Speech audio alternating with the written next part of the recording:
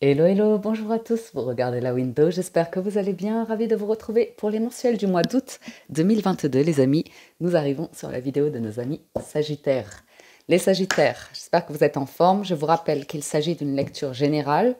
Je vous invite à faire preuve de bon discernement et à prendre cet instant pour vous détendre afin d'accueillir uniquement les messages qui résonnent avec vous, votre situation, vos circonstances. Si ça ne vous parle pas, ne forcez pas la lecture, c'est que vous recevrez des moments des messages pardon, d'une autre manière, à un autre moment, ici ou ailleurs, on verra. Premier message pour vous les Sagittaires, pour ce mois d'août, avec l'oracle de la géométrie sacrée, nous avons voyage tantrique. La fréquence du voyage tantrique nous aide à libérer la sagesse et le savoir qui sont cachés en nous pour atteindre un état de plénitude et d'accomplissement à travers nos expériences sensuelles vécues avec nous-mêmes et les autres. Bien, de la sagesse et du savoir qui se cachent. On va aller voir du côté du tarot. Ce mois-ci, j'utilise mes deux Light Years Tarot, le grand et le petit. Pour vous les Sagittaires, pour ce mois d'août 2022. Valet d'épée, oui, il y a une notion de découverte, d'apprentissage, de savoir, de recherche d'informations, de connaissances, avec un valet d'épée, quelque chose de, nouveau, des documents, quelque chose comme ça. À la coupe, nous entrons dans ce mois d'août avec le 3 d'épée et le roi de denier. Ouais. Quelles que soient les épreuves, vous êtes fort et confiant ici. Oh, beaucoup de rois. Roi de bâton, roi de coupe, roi de denier. Donc, euh, la gestion des émotions, la gestion des, énergies comme ça qui, sont, amènent hein, à une notion de, souffrance, de douleur, de trahison, ben, vous êtes bien. Vous êtes bien pour gérer les situations de crise ou quelque chose comme ça. Votre état d'esprit ce mois-ci. Reine de denier, vous êtes très ancré, prenez soin de vous, de votre alimentation et tout ça. Le challenge, c'est le cavalier de coupe. La force, ben, c'est la force. En début de mois, vous avez le 6 de bâton, à la mi du mois, le chariot, et à la fin du mois, magnifique 4 de bâton. Je garde une carte de résultat qu'on découvre à la fin du tirage. Sur la sphère professionnelle, 5 de denier. Ah, un, un cap à passer, un palier. Sur les finances, l'ermite, on est prudent. Et sur le relationnel, les amours, le sentimental, le 8 d'épée. On a des craintes ici, des peurs, la peur de regarder quelque chose en face, la peur de regarder quelque chose en soi. Peut-être ses désirs, hein. l'expérience sensuelle vécue avec vous-même et les autres. Parce qu'en challenge, vous avez le cavalier de coupe, qui est l'idée d'offrir, d'être dans le romantisme, d'être euh, dans, vous voyez, donc euh, donner, recevoir. Vous avez des, jolies cartes sur la saison d'août. 6 euh, de bâton, c'est une carte de réussite, c'est une carte de reconnaissance, de fierté, d'avoir les projecteurs euh, allumés sur soi, vous voyez. Donc euh, l'idée de recevoir les lauriers, une récompense aussi, pourquoi pas. À la mi du mois, le chariot indique du mouvement, de pareil, une carte de réussite. Ah, vous avez que des cartes de réussite. une victoire, une réussite, et l'idée d'être organisé ou de se déplacer, de voyager. Et à la fin du mois, le 4 de bâton, c'est une célébration, c'est de la stabilité, des festivités familiales ou, avec votre entourage, l'idée d'être dans une forme de, de joie, de fête, de célébration. Donc euh, pas mal. Des énergies de feu, ça vous correspond. Alors allons voir sur cette reine de denier, reine d'épée, 10 de coupe et l'impératrice. Donc des énergies très féminines dans votre état d'esprit, avec un roi d'épée quand même. L'as d'épée. Donc oui, il y a cette notion de sagesse et de maturité, d'être à l'écoute de ce qui se passe à l'intérieur de soi, de ses pensées, Bien. Il y a l'idée de, avec l'as d'épée, le monde, la justice, le roi d'épée, de régler des choses, d'être euh, carré avec les documents, surtout avec la reine d'épée, de clôturer ce qui doit être clôturé, de préparer de la nouveauté, un nouveau projet. L'impératrice est en gestation, elle met quelque chose en place. Ça peut concerner la famille, ça peut concerner un projet de famille ou comme ça. Et il y a l'idée d'accepter de, de faire de la place pour de la nouveauté, parce que la reine d'épée peut représenter la, divorcée, la veuve du jeu. Cette euh, notion d'analyse sur la vie et de se décharger de bagages passés, euh, vous voyez, d'être les idées claires pour poursuivre son chemin de vie. 10 de coupe, c'est le bonheur familial, euh, amical, c'est d'être bien entouré, de se sentir euh, cocooné par euh, son entourage, de prendre soin les uns des autres. Donc, jolie notion ici, très jolie notion. Très joli état d'esprit, on va dire. Sur ce challenge, ce magnifique cavalier de coupe, qu'en est-il? L'impératrice, la papesse, pardon, le monde, ouh, et la tour. Donc que des arcades majeures sur un cavalier de coupe. Bien. Il y a l'idée que vous ruminez au fond de vous un grand changement. Un grand changement, que vous avez envie d'offrir quelque chose, de proposer quelque chose, quelqu'un autour de vous, qui impliquera de tourner une page assez, pas peut-être radicale, peut-être radicale avec le monde et la tour. C'est cette notion de repartir sur de nouvelles bases, d'accepter un chaos pour démarrer quelque chose de nouveau. Vous aspirez à ça au fond de vous souhaitez un changement, un changement de cycle ou comme ça. C'est peut-être quelque chose que vous voulez proposer, un changement que vous voulez proposer. Ça peut être professionnel au vu des, du 5. Oui. Euh, oui. Oui, il y a une envie de, de nouveauté, de régler quelque chose, mais en challenge, c'est la peur que la foudre vous tombe dessus. Peut-être vous êtes superstitieux, peut-être vous voyez des choses comme ça, et d'écouter ce qui se passe à l'intérieur de vous, les pensées, parce qu'elles ne correspondent pas toujours à la réalité. Et avec la carte du cavalier de coupe et du monde, on peut s'attendre à une offre, une opportunité ou l'idée que vous vous ouvrez à quelque chose de nouveau. Sur la force, 8 de coupe, 10 de bâton et 4 de denier. Le, courage, la persévérance dans les projets que vous avez, d'accepter de, oui, lâcher un petit peu de, de bagages, surtout par rapport à l'idée de beaucoup de réflexions, d'options et de vous focaliser sur une décision ici pour pouvoir y aller. Parce qu'il hum, y a quelque chose qui est lourd, comme un fardeau, comme une responsabilité, notamment professionnelle ou financière. Et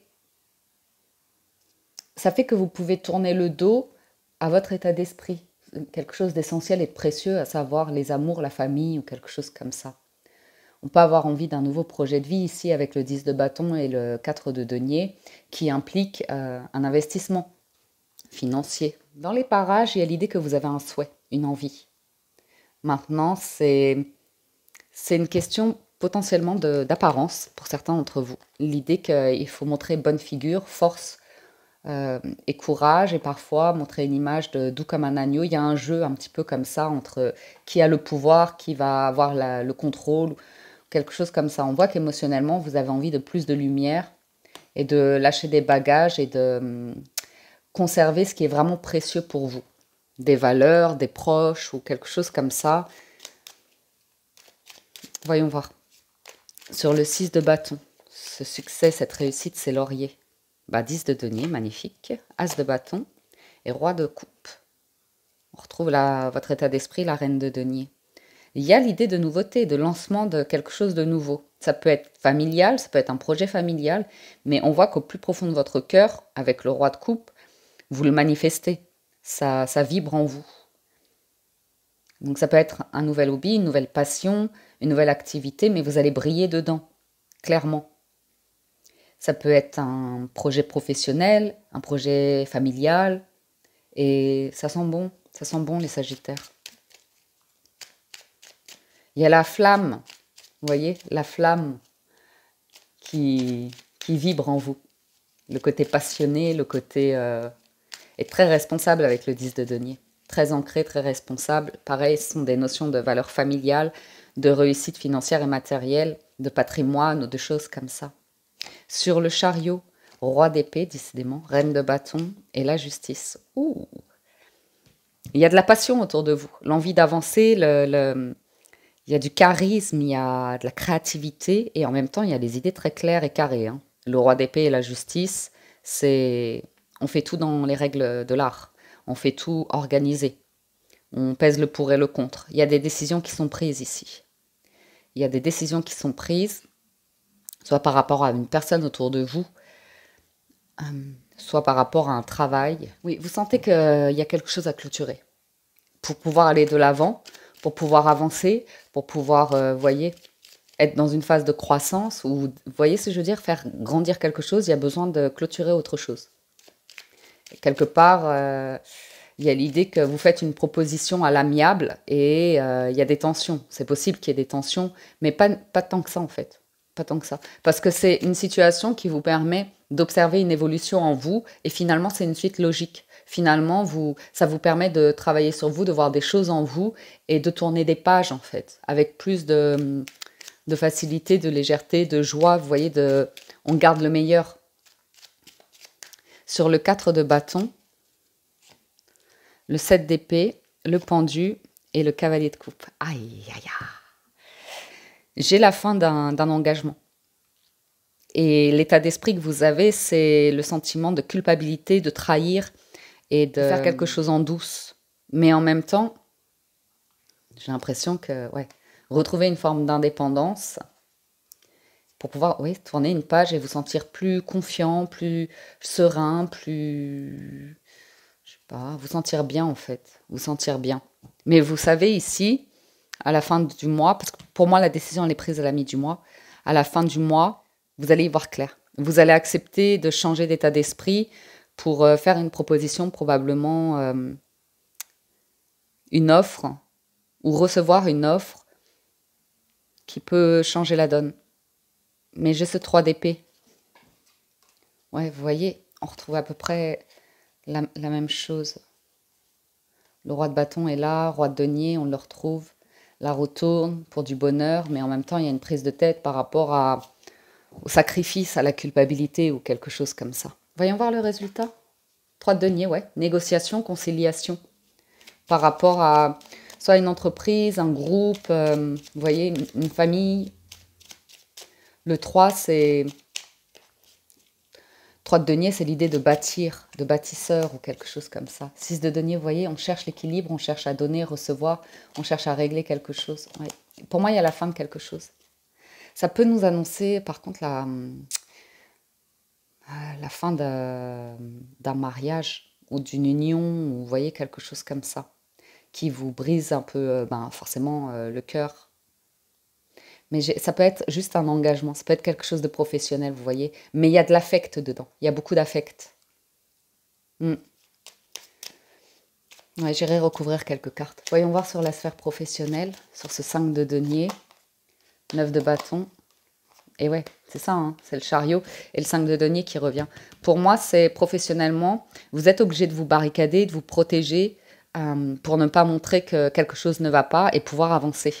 Donc pour moi, j'ai vraiment l'impression que, vous voyez, vous avez le choix des options et votre force, ça va être de vous décider pour prendre votre place. Il y a ces négociations par rapport à une grande transformation. On voit qu'il y a la fin de quelque chose qui vous tient à cœur et, euh,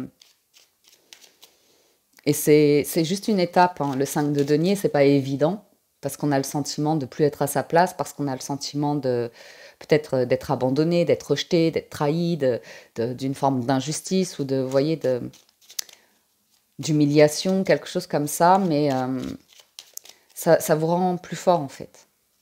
Ça vous rend plus sage. Hmm. Au niveau des finances, sur l'ermite, c'est beaucoup de discrétion. On ne se précipite pas pour faire des achats ou quelque chose comme ça. C'est énormément, énormément de réflexion.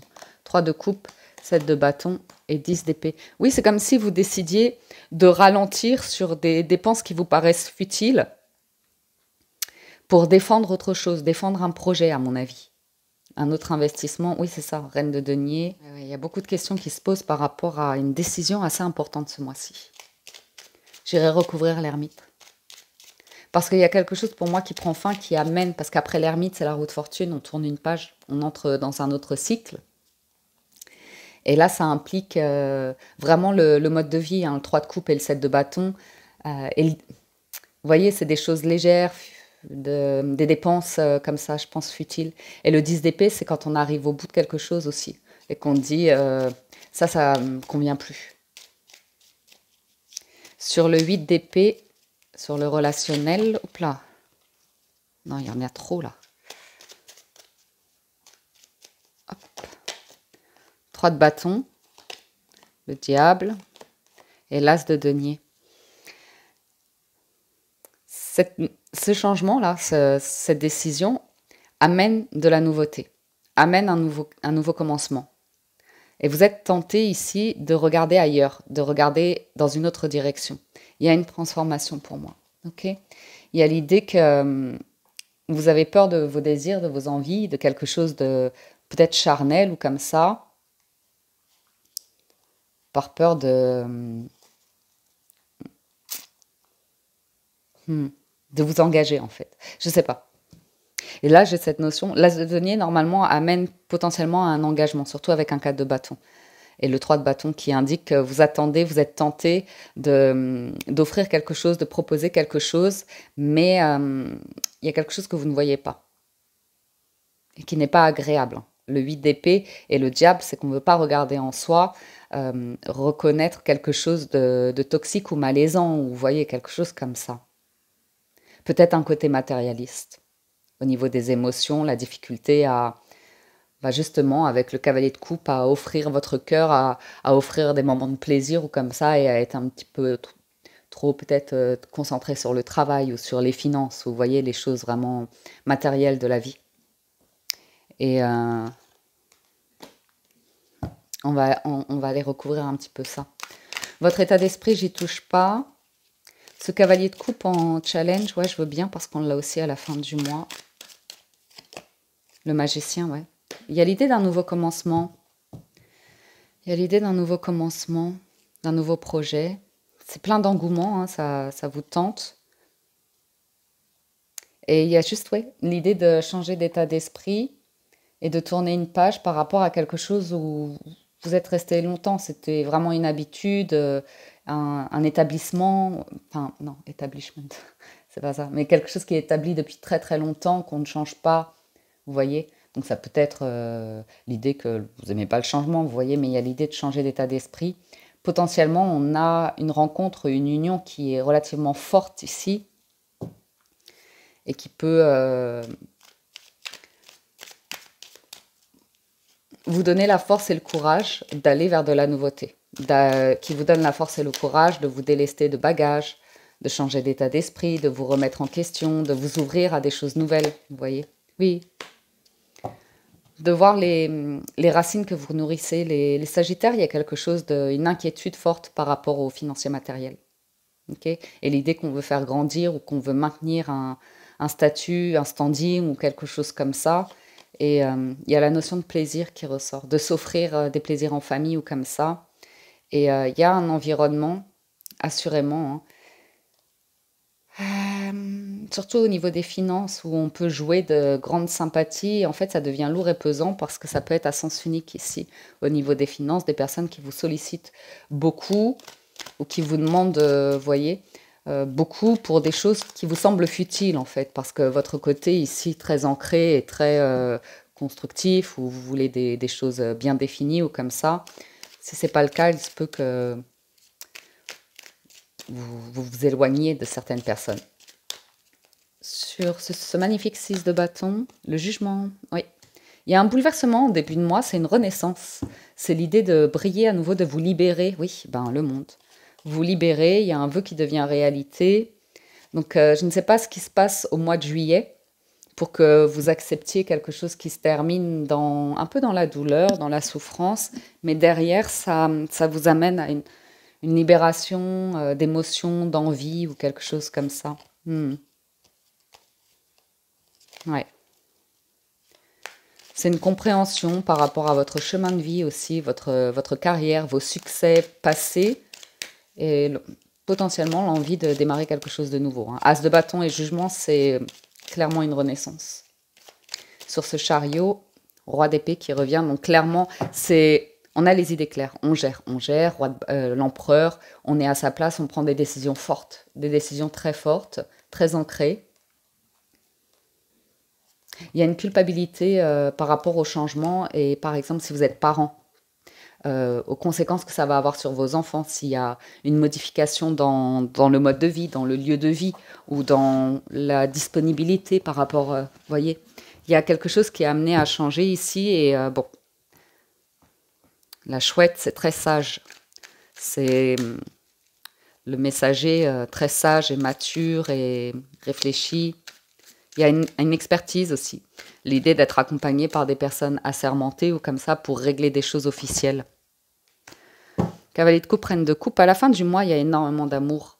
qui ressort dans votre tirage. 4 de bâton, As de coupe qui revient. Mais il y a juste cette notion de, dépasser l'idée de lutte et de ah, se brûler les ailes ou d'être trahi ou quelque chose comme ça. Et de faire confiance, de communiquer pour faire confiance et euh, vérifier qu'on est bien sur la même longueur d'onde avec les personnes qui nous entourent, qu'on va bien ensemble dans la même direction. Il y a un risque à prendre. Il y a un risque à prendre qui, surtout financier.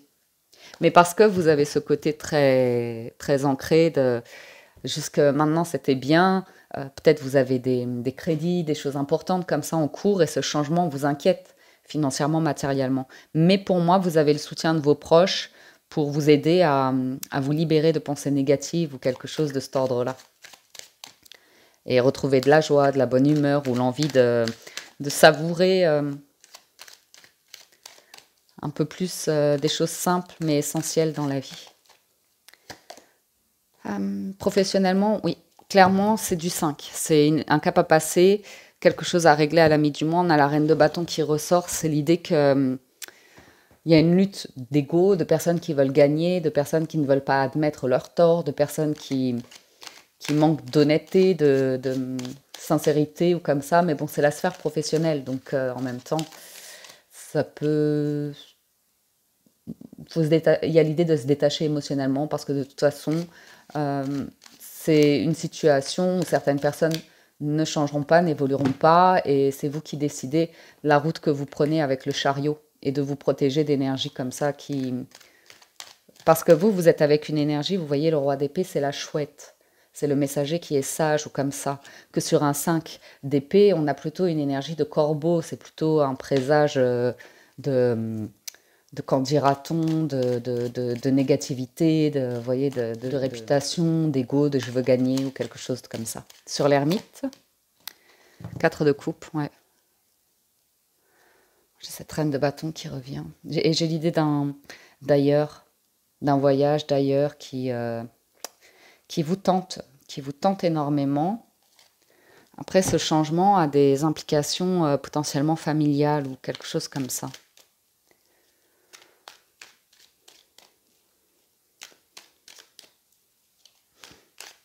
Sur le 8 d'épée, 8 de bâton. Il y a une question de communication, d'action ou de déplacement ici. De quelque chose qui pourrait euh, arriver rapidement. Un choix, une décision forte, hein, très forte.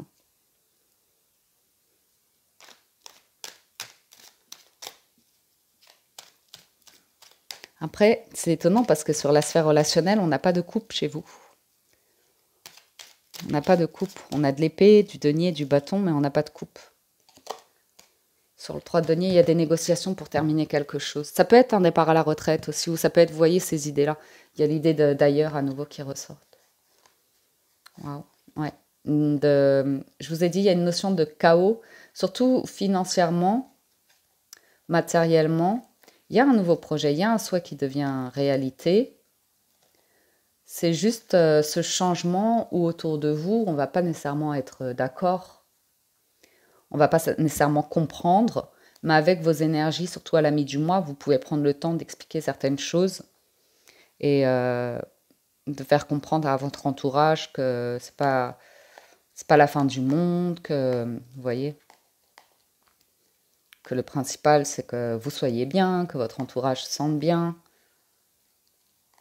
Ah Bien, ami Sagittaire. C'est cette notion de mort et de renaissance qui ressort. C'est vraiment dans votre résultat ces grandes transformations avec euh, de la nouveauté, de l'organisation, des prises de décision, la communication et euh,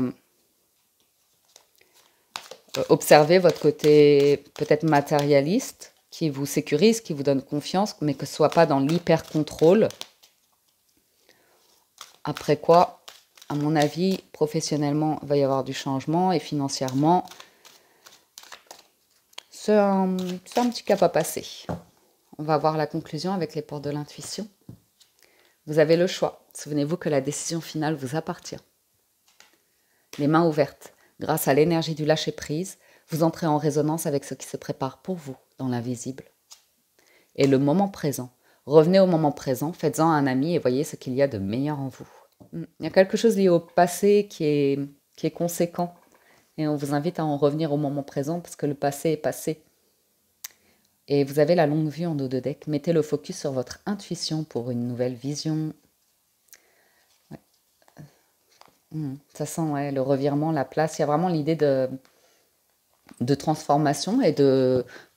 Comme si vous repreniez une place, mais ailleurs ou d'une manière différente. Ouais. Et l'ego, l'ego, ouais. L'ego par rapport aux questions financières et matérielles et par rapport à la famille, vous voyez, l'idée de lâcher un petit peu du lest par rapport au contrôle. Il y a toujours des, décisions à prendre, mais de le faire euh, en étant en conscience dans le moment présent, en acceptant le processus de, de tout ce que vous vivez professionnellement, financièrement, matériellement, et au niveau des émotions, d'arriver peut-être à faire circuler un petit peu ce qui se passe dans votre cœur, sans que ce soit euh, que souffrance, justement, d'observer les, les pensées comme ça négatives et euh, de voir ce que ça réactive par rapport à votre passé, mais qu'en revenant au moment présent, c'est plus apaisé finalement. Voilà, amis Sagittaire, pour votre lecture du mois d'août. J'espère que ça vous parle et vous apporte des réponses. Si vous souhaitez un complément d'information, je vous invite à vous rendre sur la vidéo de votre signe ascendant pour le général, Vénus ou lunaire pour tout ce qui est relationnel, sentimental. Et moi, je vous dis un grand merci de votre écoute, présence et fidélité pour les anciens. Si vous êtes nouveau et que vous appréciez les vidéos, je vous invite à vous abonner à la chaîne en cliquant sur le bouton s'abonner puis en activant la cloche de notification. Et pour soutenir la chaîne de manière générale, un petit like sur la vidéo, un petit commentaire que j'aurai plaisir à lire. Ça me permet d'être visible sur YouTube, donc merci pour cela. Excellent mois d'août, amis Sagittaires. Prenez soin de vous et je vous dis à très bientôt sur la window. Ciao, ciao, bye bye.